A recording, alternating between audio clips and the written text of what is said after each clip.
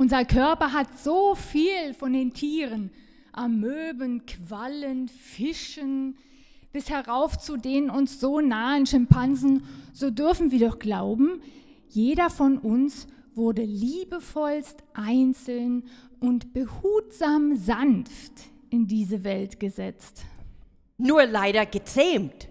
So langweilig, brav und zivilisiert. Sollen wir es nicht endlich befreien? Ja, das Tier in uns. Das Tier in dir? Das, das Tier in, in mir. mir.